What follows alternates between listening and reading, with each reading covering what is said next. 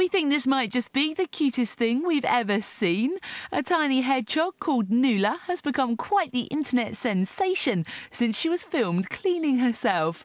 Though Nuala's owner is pleased with her newfound celebrity status, she's worried about people rushing out to buy hedgehogs as pets.